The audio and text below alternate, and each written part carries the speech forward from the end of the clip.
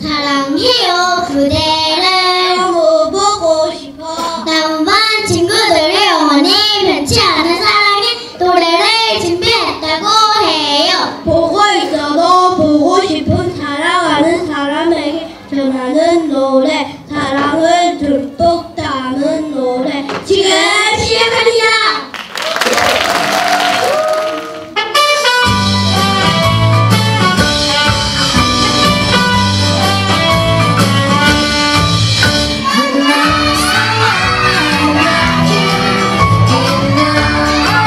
distant